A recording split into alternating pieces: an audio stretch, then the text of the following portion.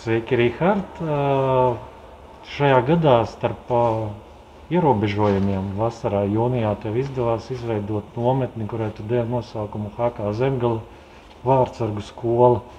Kā tev radās ideja par tās radīšanu vai veidošanu? Jā, nu, pirmkārt, sveiki. Par vārdsargu treneri es jau darbojos jau piektais gads ir. Un, un, un teiksim tā, pirmos trīs gadus strādāju šeit, Jālgavas Ledus sporta skolā, kā vārdsargu treneris. Un, nu, pārsvarā trenēju savus vietējos Jālgavniekus. Jā. Bet, bet, bet pēdējo gadu laikā ir uzradušies saka, citi gribētāji, ir, ir kas interesējās, un ar vien vairāk arī no citām pilsētām mēs pamazām sākam uzņemt vārdsargus, un, saka, lai to visu oficiāli varētu darīt, tad izdomāju izveidot kaut ko jaunu, kā Zemgales vārdsargu hokeja skola, kur var piedalīties ne tikai vietējie jelgavnieki, bet arī visi vārdsargi no, no citām Latvijas pilsētām. Tā kā be, prieks, ka mums tas izdevās. Paldies arī HK Zemgalei klubam, kurš mm, saka, atbalstīja šo ideju. Un, jā, tagad principā tie mērķi ir ir lieli. Darboties arī nākotnē, un ne tikai reizes gadā taisīt tādas nometnes, bet principā plāns ir četras nometnes gadā. Mm. Okay. Uh, ko tādā skolā var iegūt vārdsargs? Jo nu, viņš trenējās, trenējās, bet ja viņš iet vēl uz vārdsargu, HK Zemgala vārdsarga skolu, ko viņš, ko viņš iegūst no viņas? Jā, nu, pirmkārt, visi treneri ir kvalificēti Ja, mums visiem treneriem ir vismaz B kategorija. Pēdējā nometnē bija arī Juris Klodāns, ja, kuram ir ja, A kategorija. Treneri visi ir zinoši, kvalificēti. Mums visiem ir viena doma. Principā mēs, tas uzskats, kādam ir jāizskatās ja, mūsdienu vārdsargam. Mums visiem ir viens, domas mums sakrīt. Tas ir, tas ir ļoti būtiski. Lai nav tā, ka uh, vienu dienu viens treneris tev māca vienu, ja? nākamajā dienā cits treneris tev kaut ko pavisam citu jau māca. Tas ir viens. Uh, mēs izmantojam video. Mēs katru dienu filmējam vārdsargus, pēc tam to rādām arī uh, viņiem video, tā, tā, tādās video mītingos. Ja? Uh, ja kaut kas ļoti svarīgs, mēs ar iPadu uzreiz uz ledus varam parādīt, tāpēc treniņu ģērbtuvē. Uh, Tā kā video analīze, jā, un es domāju, ka eh, visi, galvenais jau tie tehniskie elementi, ko vasarā mēs, kā saka, mēs tur spēku ātrumu vasarā viņiem nedosim, netunēsim, bet tieši tehniskie elementi, kas palīdzēs vārdsargam, pozīcijas izvēlē, nu, visur, visur, tā kā tā. Kā tā. Um, vai šobrīd, kad ir uh, ierobežojumi pandēmija, Tu kaut kādā veidā kontaktējies ar uh, vārdsargu skolas dalībniekiem, vai nav pagaidām nekādas aktivitātes? Nu, diemžēl mums bija plānota nometne rudenī, vārdsargu nometne. Jau, protams, jau viss jau, kā saka, gandrīz bija sarunāts, arī gribētāji bija pieteikušies. Bet, nu, beigās viss tas nojuka, un nu, šajā laikā, diemžēl, neko, neko nevar, nevar uztaisīt, ja nekāda treniņu uz ledus mums nenotiek. Ziniet, nu, es arī ja pirmajā, tajā pirmajā ārkārtas situācijā pavasarī ja, es, es uztaisīju tur video, kā saka, ar kādiem 25 vingrinājumiem, ko vārdsargi var darīt mājās, ja, un to izsūtīja. Tā kā, ja vārdsargiem ir interese, ko viņi varētu darīt mājās, viņi zina, ka viņi droši man var vienkārši pajautāt. Nekādas samaksas par to neprasīšu. Bet pagaidām, diemžēl, šis darbs ir jā uz pauzītes apstājies.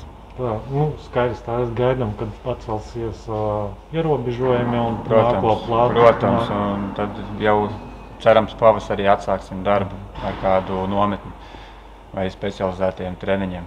Vai ir kāds no pazīstamiem hokeistiem, kurus uh, tu jau, nu, vārdsargiem, kurus tu jau gribētu uzaicināt uz nākot, no, nākošo nometni? Kā saka, kā viesus? Kā viesus, jā.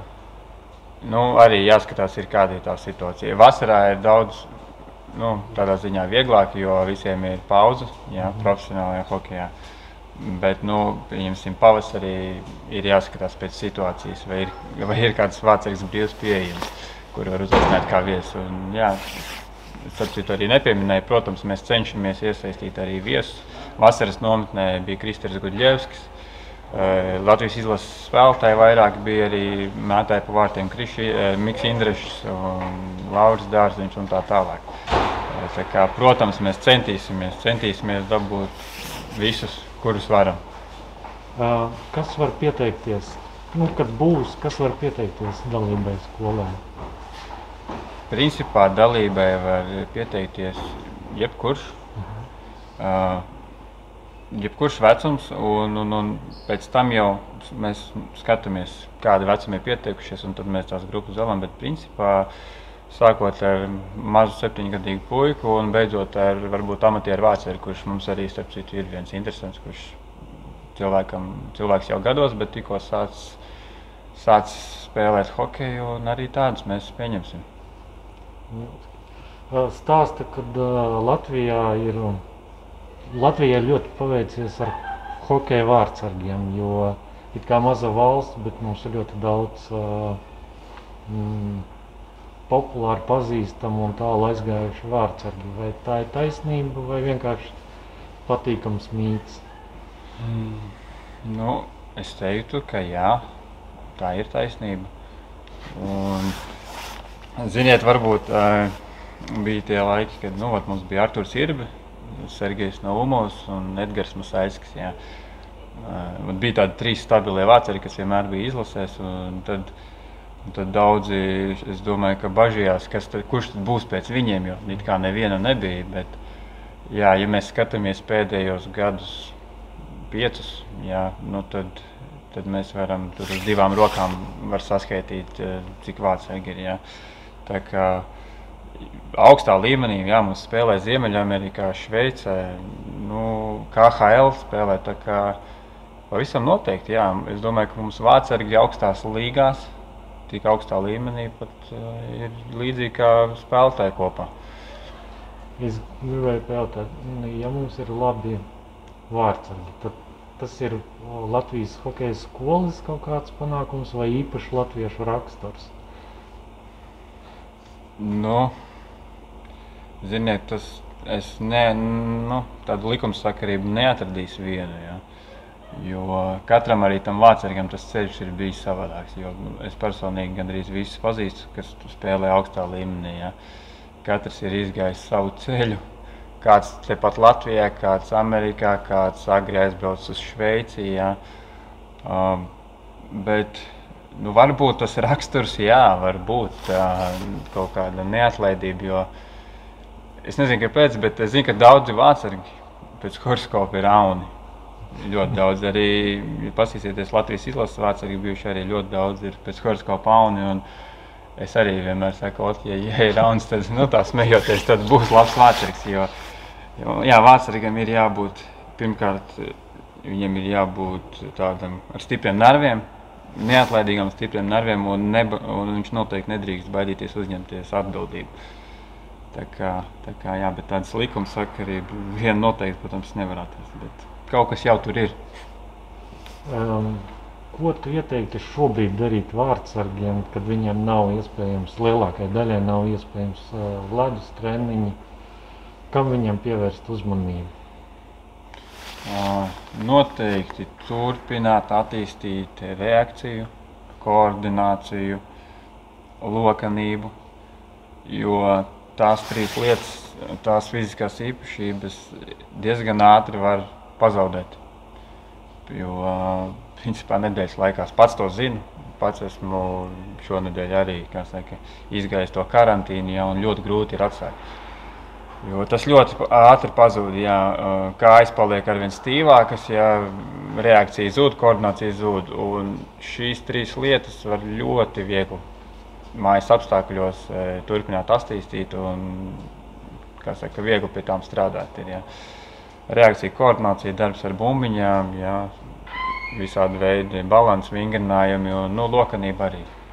Nosēdieši pagatā, skaties filmu un viss būs kārtībā, kā saka, pēc tam atgriezties varēs. Tā kā tieši šīs trīs lietas, jā, kas ir vācīgam svarīgas. Un ko tu novēlētu topošajiem vārdsargiem tuvākajā, tuvojoties jaunajam gadam un Ziemassvētkiem? Nu, Pirmkārt, varbūt nesatraukties tik ļoti par dāvanām, tīpaši šajā situācijā, ja, kad vairs dāvanas veikalos nevar nopirkt. Ja. Bet novērtēt to kopā būšanu, nekur neblandīties, pavadīt šo Ziemassvētku kopā ar saviem tuvajiem, ar savu ģimeni. Lai katram, lai katrs sajūt to mīlestību no ģimenes un lai tiešām izbaudu šos svētkus, lai priecīgi un skanīgi Ziemassvētki. Paldies! Paldies jums!